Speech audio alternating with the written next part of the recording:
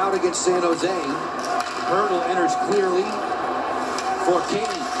Kane back to Hertl, defended by a couple. Braun walks in, hammers that one that was stopped by Holtby. The rebound then thrown off the referee.